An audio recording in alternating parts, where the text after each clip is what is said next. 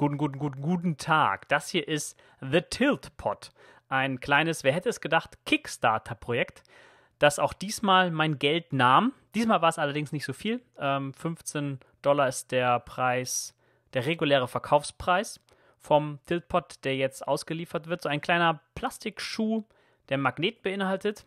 Und da lässt sich dann über so einen kleinen Knuppelaufsatz ähm, das iPhone beispielsweise in verschiedenen Positionen einsetzen und dann drehen und wenden.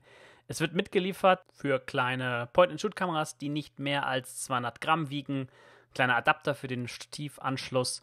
Da lassen sich dann die verschiedenen Kameras aufstellen, drehen und wenden für Selbstporträts, für Timeraufnahmen oder auch einfach irgendwie nur für den Flieger, wenn man irgendwie einen Film gucken will und man muss das iPhone irgendwie genehm aufstellen. Diese gummierte Sohle ähm, die zu sehen war, die hält ziemlich gut, auch auf schrägstem Untergrund.